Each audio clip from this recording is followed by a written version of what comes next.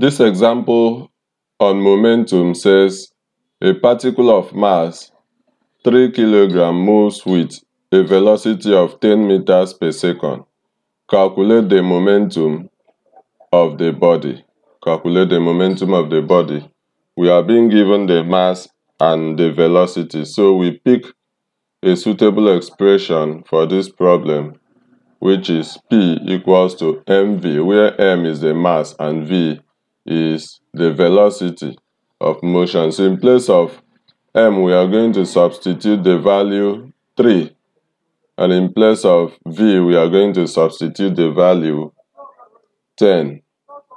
When we do that, we have this and then 3 times 10 will give us 30 kilogram meters per second, which is our final answer. Thank you. Et le temps. Je vais vous mettre une